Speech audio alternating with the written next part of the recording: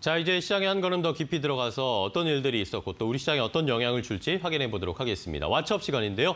자, 오늘도 왓츠업은 현대경제연구원 최하고 고문과 함께 하겠습니다. 고문님 안녕하십니까? 네, 반갑습니다. 반갑습니다.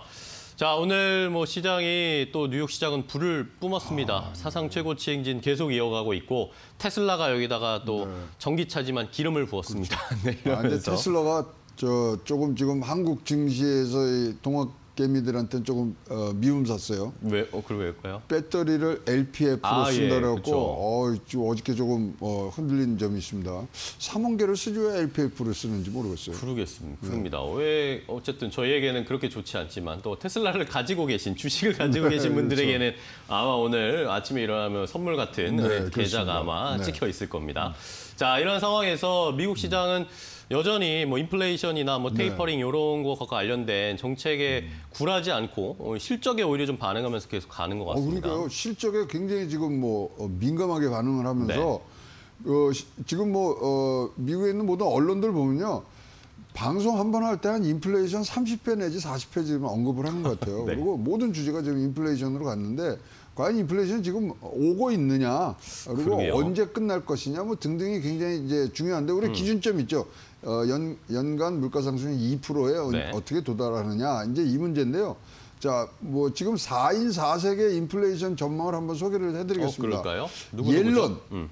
재무, 어, 옐런 재무장관 먼저. 예, 재무장관이요. 내년 하반기에 에, 정상 회복할 겁니다. 어. 근데 옐런 장관 저 과거 그래서 오늘 아침에 제가 이 과거 발언들을 쫙 이제 다시 한번 했거든요. 네. 5월 6일 날 뭐라 했냐면 인플레이션 일시적이다. 네. 그다음에 어, 6월 24일에 올해 말에는 2% 수준 갈 것이다. 네. 어, 그다음에 인플레이션 어, 발생의 위험이 있더라도 어, 4조 인프라 지금 빨리 지급해야 돼. 그러니까 그 인플레이션 그렇게 급하지 않다는 얘기를 지금 또 했고요.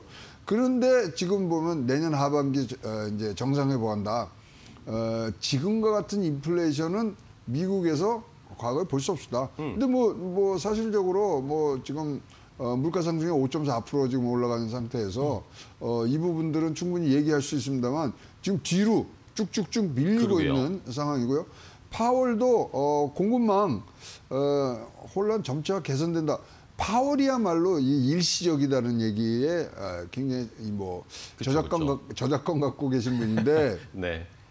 근데 이 얘기를 하면서 뭐냐면 인플레가 예상보다 좀 오래 갈 것 같은데요. 뭐 이렇게 얘기를 하는 어, 반면에 어, 어, 잭 서머스라고 어, 전 재무장관이죠. 그래서 네네. 야 인, 연준이 요새 일 안 하네 이렇게 네. 어, 뭐이 인플레에 대해서 지금 대응할 수 있는 부분들을 왜 안 하고 이거 지금 어, 대응에 뒤처져 있다. 음. 그다음에 뭐 잭 도시 트위터의 잭 도시 같은 경우는 벌써 와 있다. 초인플레다. 예, 네. 뭐 이미 일어났고 어, 지금 봐라 소비자 물가 이게 30년 지금 최대치를 지금 어, 기록하고 있지 않느냐. 네네.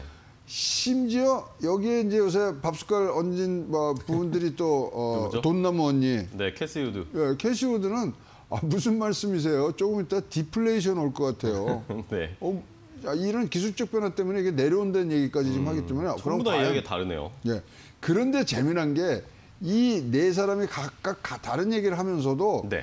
원인에 대해서는 똑같이 얘기합니다. 음, 공급망. 병목, 음. 그다음에 에, 그린 에, 친환경 에너지 전환에 따른 유가 상승, 음. 그리고 어, 돌아오지 않는 노동자들. 음. 그래서 임금 상승이 되고 있다는 거죠. 네. 그래서 과연 그러면 뭐 진단은 똑같기 때문에 지금 처방이 좀 다른 어, 부분들이 있어서 이 부분을 어떻게 그러면 어, 선순환적으로 가느냐가 지금 숙제인 것 같고요.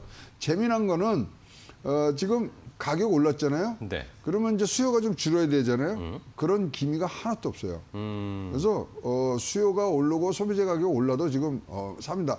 물론 지금부터 뭐 할로윈도 시작으로 해서 음. 이제 소위 말하는 어, 땡스기빙부터 크리스마스까지 이제 소비 시즌은 시즌, 왔거든요. 그렇다면 이거는 굉장히 좋은 증시에 좋은 거죠. 음. 왜냐하면 어, 기업들이 가격 상승해도 아, 내가 살게. 아야지.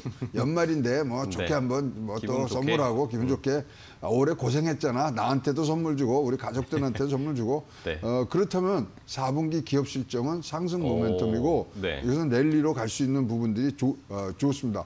자, 과거에는 어떻게 했느냐? 네. 과거에는 이, 어, 이 인플레이션이라고 뭐 과거 지금 20년간 없었는데요.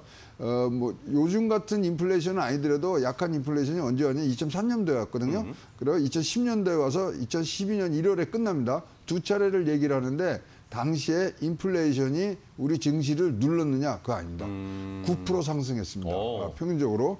그래서 어, 지금 이제 과거의 자료들을 하- 보면은 인플레이션이 3% 정도가 되면은 이게 주식에 굉장히 긍정적이에요. 그러니까 2%보다는 조금 높으면서 또 과도하지 않은 부분. 그래서 어, 지금 뭐 조금 2%를 넘는 어, 그런 어, 인플레이션은 어, 우리가 주, 아, 주가에는 긍정적으로 봐야 되고요.